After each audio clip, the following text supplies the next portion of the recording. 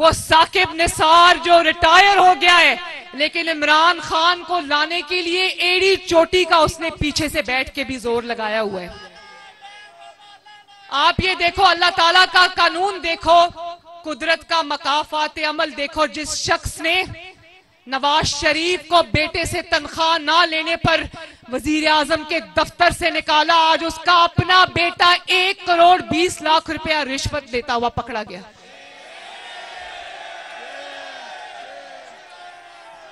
साकिब निसार का बेटा। उसकी ऑडियो हमने सुनी, उसका बेटा कह रहा है कि किसी को जो टिकट के लिए अप्लाई किया है पीटीआई के टिकट के लिए, उसको कह रहा है कि तुमने अगर एक करोड़ बीस लाख से कम लिए तो मैं तुम्हारी टांगे तोड़ दूँगा। चोर का बेटा, चोर।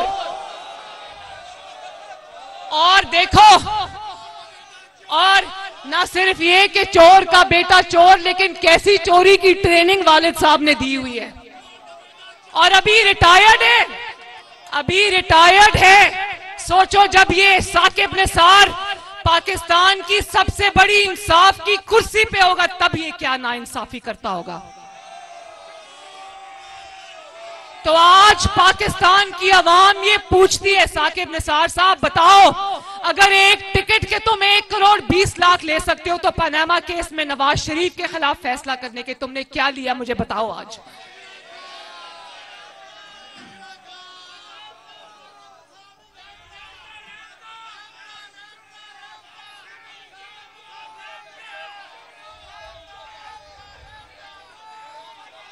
और आपको याद होगा जब मेरे खिलाफ साकिब निसार की कोई वो ऑडियो आई थी जिसमें उसने कहा कि मरियम को ठोक दो, यानी कि मरियम को उड़ा दो, मरियम को मार दो, क्योंकि क्योंकि वो तुम्हारा चेहरा रोज आके अवाम के साथ एक्सपोज करती है, उसको ठोक दो का लफ्ज इस्तेमाल किया और कहा और कहा कि मरियम की, मरियम बड़ी सख्त जबान बोलती है और इस तरह की बातें की तो आज उसके बेटे की ऑडियो में उसके बेटे की ज़ुबान सुनी आपने?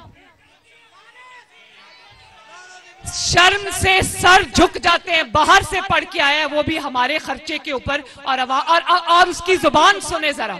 गाली दिए बगैर उसकी उसकी कोई बात कंप्लीट नहीं होती।